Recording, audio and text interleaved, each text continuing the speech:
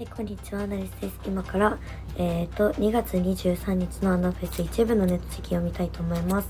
まずは、ひょうちゃん、ありがとう。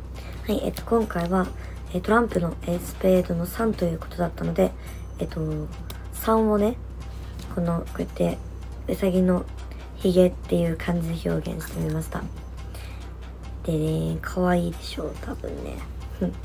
はい、とっても可愛いダリちゃんだと思うので、楽しみにしておいてください。いつもありがとう。はい、そして、えーふみふみありがとう。